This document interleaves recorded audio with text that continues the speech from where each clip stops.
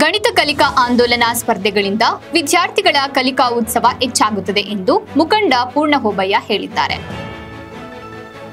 ಶುಕ್ರವಾರ ನಲಗೇತನ ಅಡ್ಡಿ ಗ್ರಾಮದ ಸರ್ಕಾರಿ ಹಿರಿಯ ಪ್ರಾಥಮಿಕ ಶಾಲಾ ಆವರಣದಲ್ಲಿ ಕ್ಷೇತ್ರ ಶಿಕ್ಷಣಾಧಿಕಾರಿಗಳ ಕಚೇರಿ, ಶಾಲಾ ಶಿಕ್ಷಣ ಮತ್ತು ಸುರಕ್ಷತಾ ಇಲಾಖೆ, ಅಕ್ಷರ ಫೌಂಡೇಶನ್ ಸಹಾಯಕದೊಂದಿಗೆ ಗಣಿತ ಕಲಿಕಾ ಆಂದೋಲನ ಅಡಿಯಲ್ಲಿ ನಾಲ್ಕು, ಐದು ಮತ್ತು ಆರನೇ ತರಗತಿಯ ಮಕ್ಕಳ ನಲಗೀತನಹಟ್ಟಿ ಗ್ರಾಮ ಪಂಚಾಯಿತಿ ಮಟ್ಟದ ಗಣಿತ ಸ್ಪರ್ಧೆ ಕಾರ್ಯಕ್ರಮದಲ್ಲಿ ವಿದ್ಯಾರ್ಥಿಗಳಿಗೆ ಪ್ರಶಸ್ತಿ ಪತ್ರ ಮತ್ತು ಪ್ರೋತ್ಸಾಹಧನವನ್ನ ನೀಡಿ ಮಾತನಾಡಿದರು. ಇದೇ ಸಂದರ್ಭದಲ್ಲಿ ಶಾಲೆಯ ಮುಖ್ಯ ಶಿಕ್ಷಕ ಆರ್ ಮುಷ್ಟೂರಪ್ಪ, ಶಿಕ್ಷಕರು ಹಾಗೂ ವಿದ್ಯಾರ್ಥಿಗಳು ಇದ್ರು